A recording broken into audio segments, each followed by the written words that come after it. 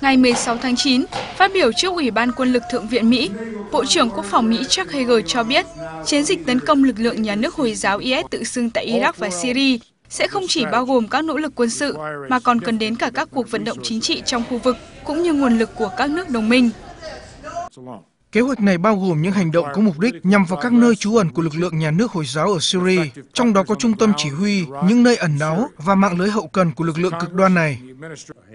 Cũng tại Ủy ban Quân lực Thượng viện Mỹ, Chủ tịch Hội đồng Tham mưu trưởng Liên quân Mỹ, tướng Martin Dempsey đã đề cập khả năng triển khai những binh sĩ Mỹ đóng vai trò cố vấn cho các lực lượng Iraq trong các sứ mệnh tác chiến chống IS nếu cần thiết. Nếu đến lúc tôi tin rằng các cố vấn của chúng ta cần sát cánh cùng binh sĩ Iraq trong những cuộc tấn công nhằm vào các mục tiêu IS, thì tôi sẽ khuyến nghị điều đó với Tổng thống Obama. Đồng thời, ông Hagel và ông Dempsey đều nhận định cuộc chiến chống IS của Mỹ và các nước đồng minh không thể diễn ra một cách chớp nhoáng, đột ngột, mà cần một chiến lược dài hơi.